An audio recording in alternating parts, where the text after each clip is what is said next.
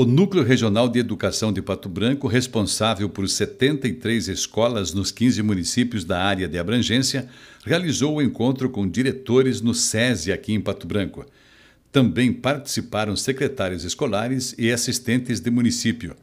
O principal tema em debate é a distribuição das aulas. A partir do dia 22, segunda-feira, até o dia 31 de janeiro, o trabalho será realizado nas escolas. Porque nós temos vários níveis de distribuição, né, que são os professores que estão lotados nas escolas, os professores que estão lotados nos municípios, as aulas extraordinárias, os professores que vêm de outros municípios e de outras regionais para o nosso núcleo trabalhar aqui e, em último momento, os professores PSS que são contratados em regime especial.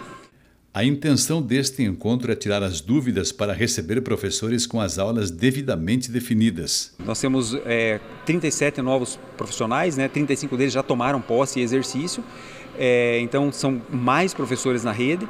Aqui no nosso núcleo nós tivemos esses 37. No estado são 1.200 profissionais. E o secretário de Educação, Rony Miranda, já informou-nos que até maio ele quer chamar mais mil profissionais na rede. É, nós temos aqui no nosso núcleo de educação vários que são novos, que nunca tiveram na rede, então são mais professores que entram no quadro além de outros contratos PSS. Né? Nós temos três editais vigentes, os contratos foram prorrogados e temos mais um novo que a gente tem a possibilidade de chamar. Então a gente gostaria quer muito, anseia por isso, que nós tenhamos todos os professores já na sala de aula dia 5.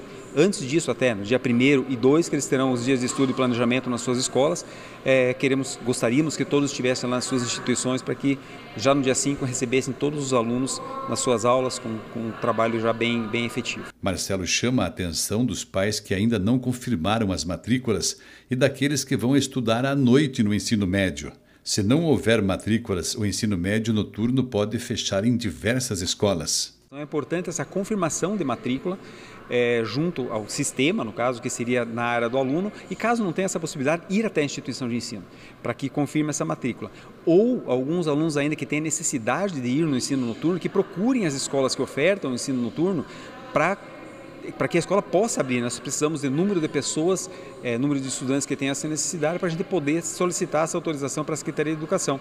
Então, os alunos normalmente do noturno esperam até o último momento, ou já iniciar as aulas, isso fica muito prejudicial para nós da rede, porque afinal os professores, é, se, se as turmas estiverem abertas com o número de alunos, já na segunda-feira eles podem escolher essas aulas e optar por essas turmas do noturno, que muitos deles preferem esse ensino noturno para trabalhar.